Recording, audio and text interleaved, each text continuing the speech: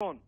Όλη η Ελλάδα, όλη η Ευρώπη ουσιαστικά έχει πέσει πάνω στην Ελλάδα προκειμένου να ε, αποδεχτεί προτάσεις και να οδηγηθούμε τελικά σε συμφωνία. Ωστόσο, παρόλα αυτά είμαστε μακριά. Παρά το γεγονός ότι προηγήθηκε χτες πρωινή εξάωρη συνάντηση του Έλληνα Πρωθυπουργού με τους επικεφαλεί των θεσμών, ε, αμέσως μετά το απόγευμα είχαμε δεύτερη, με ως τα ξημερώματα, ε, τέτοια συνεργασία με παράλληλη συνεδρίαση των τεχνικών κλιμακίων, τα οποία και πάλι σήμερα από τις 6 το πρωί ξεκίνησαν. Δεν έχουμε αποτέλεσμα.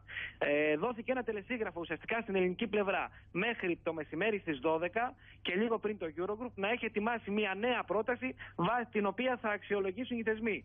Και πού τελικά καταλήξαμε. Ενώ η Ελλάδα κατέθεσε πρόταση, μια πρόταση που, την οποία προσπαθούσε να φτάσει στις θέσεις των θεσμών, από την πλευρά των δανειστών εμφανίστηκε ένα νέο κείμενο, μια νέα αντιπρόταση που ουσιαστικά συνιστούσε δεύτερη ψυχρολουσία. Και μιλάμε για δεύτερη ψυχρολουσία μέσα σε δύο ημέρες και αυτό γιατί αν δει κανείς τα στοιχεία της, καταλαβαίνει ότι δεν είναι εύκολο να γίνουν αποδεκτά έως αδύνατο από την ελληνική πλευρά. Α δούμε χαρακτηριστικά κάποια από αυτά. Τι ζητούν; Ο ΦΠΑ να είναι στο 23% όχι μόνο στην εστίαση αλλά και στον τουρισμό. Και ειδικότερα, μιας και μιλάμε για τα νησιά του Αιγαίου, για παράδειγμα, εκεί ο φόρος μπορεί να πενταπλασιαστεί για τα ξενοδοχεία. Μάλιστα, ζητούν να ισχύσει αυτό από την άλλη Τετάρτη και ενώ ουσιαστικά είμαστε στο ξεκίνημα της τουριστικής περίοδου για την Ελλάδα. Επίσης, ζητούν άμεση κατάργηση του ΕΚΑΣ για δύο στους 10 συνταξιούχους.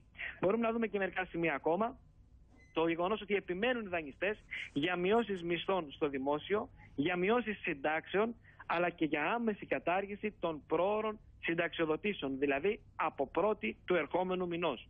Έχουν πάρει πίσω βέβαια το, την απέτηση για ΦΠΑ 23% στο γάλα και στο λάδι. Αλλά προφανώς αυτό δεν είναι αρκετό για να αποδειχθεί η, νέα, η ελληνική πλευρά ένα πακέτο το οποίο πολύ δύσκολα είναι αδύνατο να περάσει από τη Βουλή και από τον ίδιο το ΣΥΡΙΖΑ.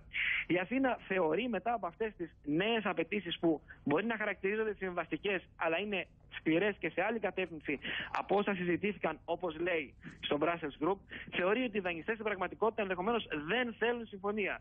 Είναι χαρακτηριστικό ότι λίγο νωρίτερα κυβερνητικός αξιωματούχος υποστήριζε ότι